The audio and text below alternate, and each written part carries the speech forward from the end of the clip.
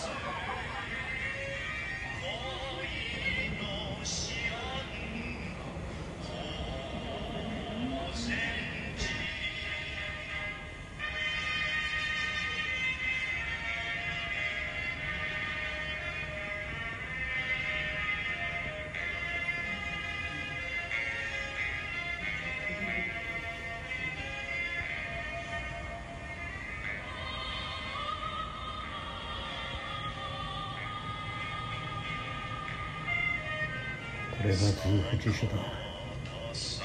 学生たちはこの一冊と辞書を夜中中ずっと取り合うようにして読んだんだ。学生たちの熱気が伝わってくる感じがする。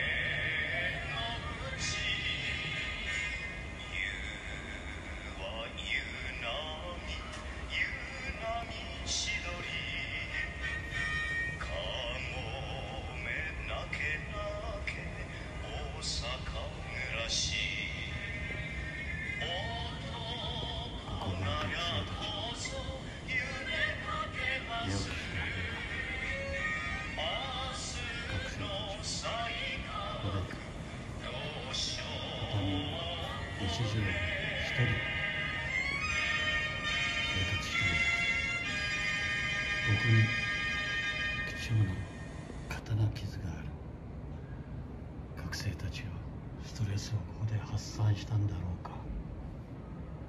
今も学生たちが生きている。